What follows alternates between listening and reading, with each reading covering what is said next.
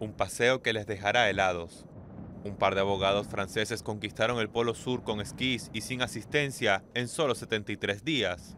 Batieron el anterior récord impuesto por el estadounidense Ryan Waters, que en 2010 recorrió 1.800 kilómetros.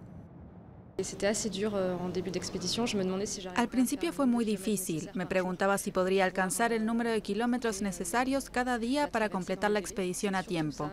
Esa era mi mayor duda, el número de kilómetros por día.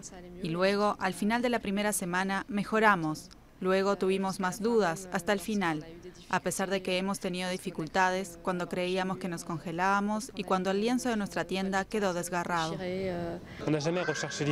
Nunca buscamos aislamiento, nos enfrentamos a un silencio infinito, a un espacio infinito que era mágico, magnífico. Vimos paisajes que eran inmensos, pero no estábamos buscando este aislamiento, realmente queríamos compartir una aventura para hacer un poco más accesible este continente tan inaccesible. Al llegar a Francia fueron recibidos por la prensa y allegados, y no tardaron mucho en organizar charlas y exposiciones para hablar de su logro. Con su hazaña, la pareja ha recogido más de 9 mil dólares para una asociación benéfica infantil. Este proyecto, que nació de una pasión, promete convertirse en un libro que buscará inspirar a sus lectores a cumplir sus retos.